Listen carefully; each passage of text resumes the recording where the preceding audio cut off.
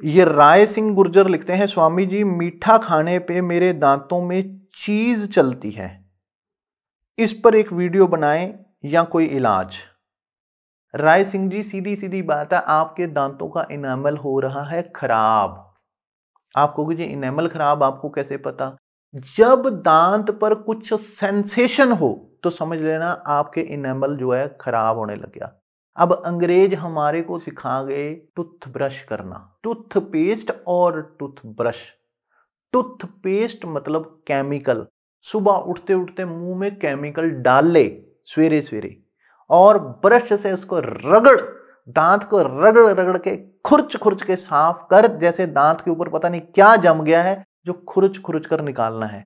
खुरच खुरच कर जो जमा है, वो तो शायद निकले या निकले, तुम्हारा इनेमल ज़रूर निकल जाएगा और तुम्हारे दांत घस घस के घस घस के घस घस के घस घस के पतले होने शुरू हो गया, जो ऊपर उसके इनेमल था वो घसने लग गया, दांतों का बेड़ा गर्क कर लिया, सत्यानाश।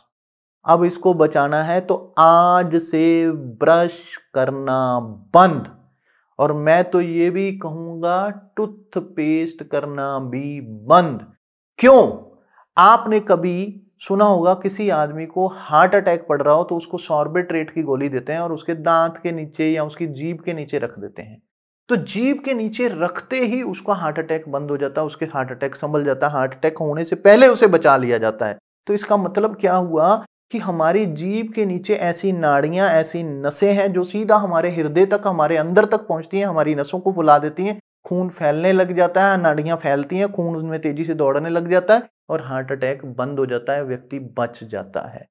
तो इसका मतलब क्या हुआ कि आपकी जीभ इतनी सेंसिटिव है कि आपकी बॉडी के हर ऑर्गन तक उसका असर पहुँच रहा है। जीभ के नीचे नाड़ियाँ हैं जो शरीर में सेंसेशन पहुँचा रही हैं। और आप सुबह सुबह जीभ पर क्या लगा लेते हो? क्या लगाते हो? टूथपेस्ट तो क्या होगा? उसमें क्या है? केमिकल तो आप जीप को क्या लगा रहे हो? केमिकल। तो क्या होना है? सवा सत्यानाश। आपका बेड़ा गर्क होना है। क्योंकि केमिकल भी कौन सा? S L E S sodium lauryl ether sulphate, जो कि इंडस्ट्री में किसी चीज़ को मांजने के, साफ़ करने के, मशीनों धोने के काम आता है, उससे बना हुआ है आपका ये टूथपेस्ट। ये आपको केमिकल है जो मुँह में लगा रहे हो धीरे धीरे इस केमिकल का असर आपकी बॉडी में, आपकी हड्डियों तक, आपके शरीर तक, आपके हार्ट तक, आपके माइंड तक, आपके ब्रेन तक सब तक जा रहा है। शरीर का सत्यानाश मार लोगे, तभी लोग कहते थे, दातुन करो, मंजन करो। इससे अच्छा तो आप सरसों के तेल में अगर आप नमक डाल के मांझ लो ना दांत तो भी ज़्यादा स्वास्थ्य रहेंगे। चाहे आप जो कोयले की स्वाह होती है, जो तंदूर में जलाई जाती है, उससे दांत साफ़ कर लोगे तो भी साफ़ हो जाएँगे।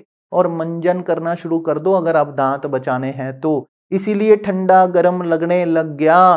पहले जमाने में, आज से सौ साल पहले किसी को ठंडा गर्म लगता था। आज ही क्यों शुरू हुआ? अभी क्यों सेंसिटिव हो गए आपके दांत? क्योंकि आप ही ने सेंसिटिव किए हैं, आप ही ने घिसाए हैं, आप ही ने खराब किए हैं। और अब ठीक करना है तो इसके ऊपर सरसों के तेल की मालिश करना शुरू कर दो। दिन में दो बार थोड़ा सा सरसों का तेल लेना है उसकी मालिश करना है उसके बाद मुँह को धो देना है। शुरू शुरू में आपको लगेगा, यार, सरसों का तेल क्या है? मज़ा नहीं आ रहा। वो आदत है। खराब आते हैं। तो धीरे धीरे ये करो, नहीं तो धीरे धीरे दांतों में खुड्डे पड़ना शुरू हो जाएगी, वहाँ पर कैविटीज जमना शुरू हो जाएगी, मीठा वहाँ पर जाकर जमा होना शुरू हो जाएगा। कीड़े लग जाएँगे, दांत खराब हो जाएँगे और फिर जवानी में दांत बाहर निकलवाने पड़ेंगे।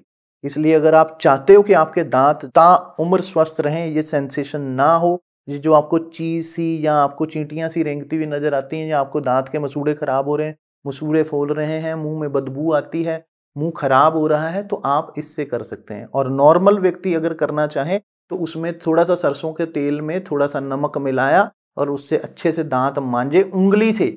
जब उंगली से मांजते हैं तो मसूड़ों की मालिश होती है। ब्रश आपके मसूड़ों की मालिश नहीं करता, उल्टा मसूड़े छीलने का काम तो कर सकता है। मालिश वो क्या करेगा? और बेड़ा गर्क कर लोगे अपने दांतों का। तो अगर दांत स्वस्थ बना के रखना है, आयुर्वेद के हिसाब से तो सरसों के तेल की मालिश करना शुरू कर दे। तुम कहोगे कि, वाह, मज़ा आ गया जी स्वामी जी, क्या चीज़ बताई? एक महीना करके देख लेना। एक महीने बाद आप नीचे कमेंट डालोगे कि, स्वामी जी, आपने वीडियो बनाया था, आपने मुझे बताया था। अब मेरे दांतों में कोई चीज़ नहीं चल रही, अब मेरे दांत बिल्कुल स्वस्थ हो चुके हैं। और अगर चाहता है ना बूढ़े तक दांत ना गिरे तो यही कर लेना। नहीं तो ये दांत बीच में ही चले जाएँगे। जवानी में ही बूढ़ा हो जाएगा, मुँह ऐसे हो जाता है। आपने देखा ना, जैसे बच्चे का मुँह होता, दांत नहीं होता। और बुढ़े का मुँह होता, दांत नहीं होता तो कैसे लगता है? ऐसे पिचका सा मुँह लगता है। ऐसे लगेगा फिर।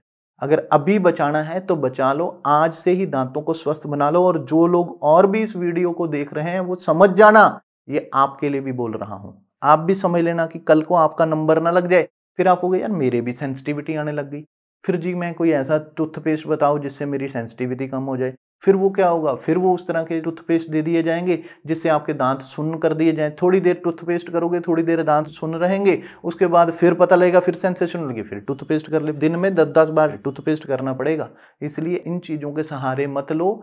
आप गलत हो कहाँ से रहा है? वहाँ से सप्लाई बंद करो, जहाँ से गलती आ रही है। अगर करंट वहाँ से आ रहा है तो करंट के तार को काटोगे तो करंट आना बंद होगा। आप ऊपर ऊपर से जितनी मर्ज़ी लीपा पोती कर लो, आपका कुछ नहीं होगा। जहाँ से गलत सप्लाई हो रही है, जहाँ से कारण है, अगर कारण ठीक करोगे तो कार्य ठीक होगा, अगर कारण को ठीक नहीं करोगे तो कभी ठीक नहीं होगा।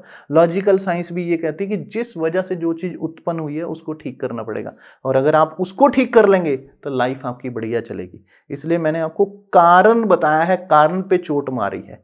इसलिए बता रहा हूँ, आयुर्वेद कहता है, कारण काटो, समस्या अपने आप खत्म हो जाएगी। तो मैंने कारण बताया है, अब आप समझ लेना आपको कारण दूर करना है, अपने दांतों को लाइफ टाइम के लिए बचा के रखना है, स्वस्थ रखना है फिट रखना है। दांतों पे कोई सेंसेशन ना हो, दांतों पे कोई कीड़ा ना लगे, दांत मज़बूत हो, मसूड़े मज़बूत हो, मुँह में से बदबू ना आए और आपकी हड्डियों में केमिकल ना जाए, आपके शरीर में केमिकल ना जाए तो आप जो मैंने बोला है, सरसों और नमक से दांत साफ़ करना शुरू कर दो।